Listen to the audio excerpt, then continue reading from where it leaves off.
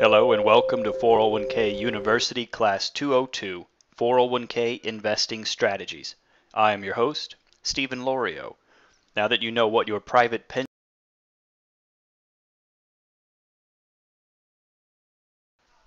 Our agenda, introduction, strategy and vision, a reminder, 401k investing strategies, dollar cost averaging, asset allocation, diversification, rebalancing, reallocation, and then to recap. Section 1 Introduction Hopefully you have read through the Investments Basics of Class 102 Investments. If not, it is an excellent resource to understand the most significant variable in choosing 401k investment strategies, that being yourself. Always bear in mind that it's important to be honest with yourself about how involved you want to be in investing. If you are not interested in being involved with the day to day decisions of investing, don't be.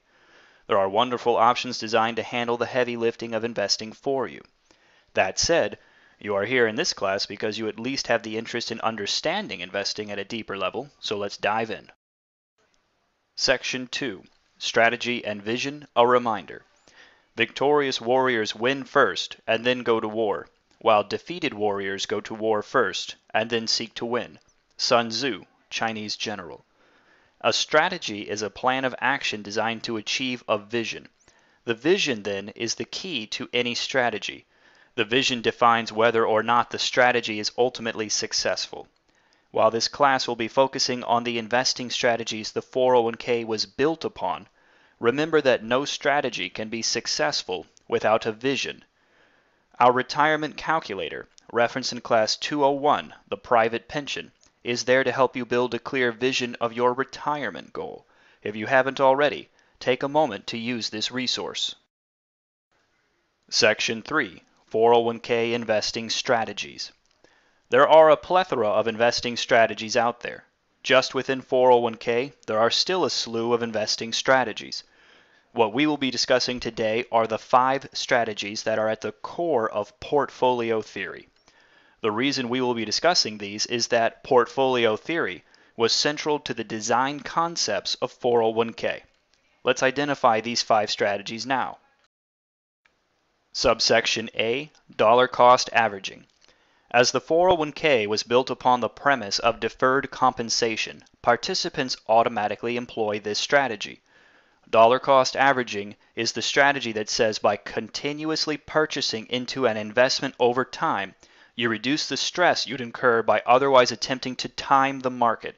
Studies have shown that investors who endeavor to time the market end up consistently and significantly underperforming their peers who simply avoid this practice. Here is a visual of dollar cost averaging in action. If your only purchase was at the beginning of the year, it would be stressful to hold on in March when things have declined 20% in just three months.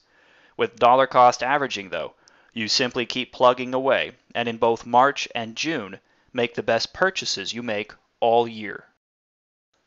Subsection B Asset Allocation. Asset allocation is oftentimes portrayed as a pie chart of broad investment categories attuned to risk, like so. What you see then is that by modifying the amount of exposure you have to more risky asset classes, such as stocks and alternative investments, versus less risky asset classes such as cash and bonds, you can adjust the risk of your investments as a whole. This is the underlying premise of asset allocation. By correctly placing yourself at the risk level appropriate to your age and thus the timeline to your goal of retirement, you give yourself the best chance to succeed at your goal by taking appropriate risk when you can and retreating from excessive risk as you get nearer to your goal. Note that a follow-up, more detailed discussion about the broad level investment categories, cash, bonds, stock, and alternative investments, will be given in Class 203, Investment Categories. Subsection C, Diversification. When it comes to investing, we've all heard the expression, don't have all your eggs in one basket. This expression is speaking to the benefits of diversification to help protect against the risk of catastrophic investment loss.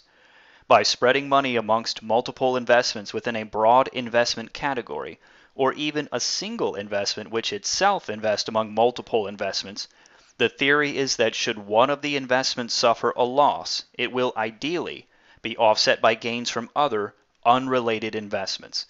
Thus, asset allocation and diversification work together as you choose the appropriate risk level for your situation and then diversify within each section of your pie chart. Subsection D, rebalancing. Rebalancing is an important part of asset allocation and diversification. Rebalancing is the act of hitting the reset button on your asset allocation and diversification as the investments drift over time. It's very easy to get caught up in euphoria or dread when it comes to investment returns. This is where you need to have the discipline to stick to your asset allocation and diversification to control your risk. If you simply allow your winners to run away without reining them in, or you leave your losers down and never help them rise up, the overall risk of your investments will shift in ways that aren't appropriate to your strategy. It's crucial to go in twice per year and reset both your asset allocation and your diversification. Here we can see that because of the tremendous growth in stock investment A from January to June, the asset allocation and diversification of the stock category are significantly off target. This jeopardizes the intended risk of the portfolio, and so, to correct this, the portfolio needs to be rebalanced to its intended risk of moderate.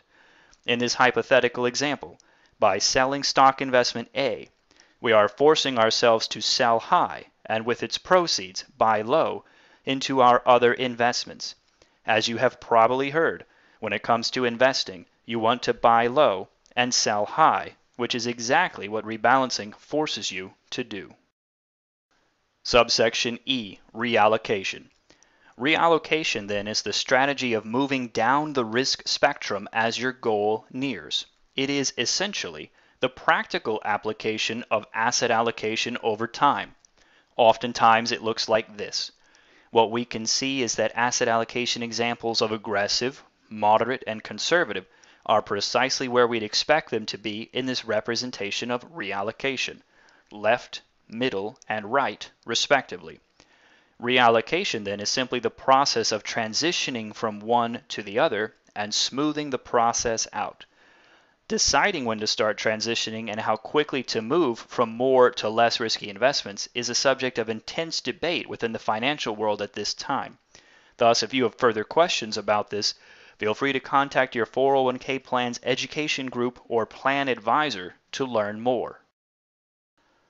In recapping, while there are many powerful investing strategies out there, there are five that are central to the design of 401k. A dollar cost averaging, a strategy of continuous investment to avoid market timing and ensure that when markets dip, you continue to invest and make some of the best purchases you ever will. B. Asset allocation, a strategy to control risk by selecting broad level investment categories based upon their risk and your timeline to your goal. C. Diversification, a strategy to further control risk by selecting a multitude of investments, or an investment which itself selects a multitude of investments, within each broad category of investment to avoid catastrophic losses. D. Rebalancing, a strategy to control risk by periodically resetting asset allocation and diversification. A byproduct of this strategy is that it helps force you to buy low and sell high. E. Reallocation the practical application of asset allocation and diversification over time to ensure risk remains appropriate to your timeline to your goal. We will dive deeper into investments in our next class as well.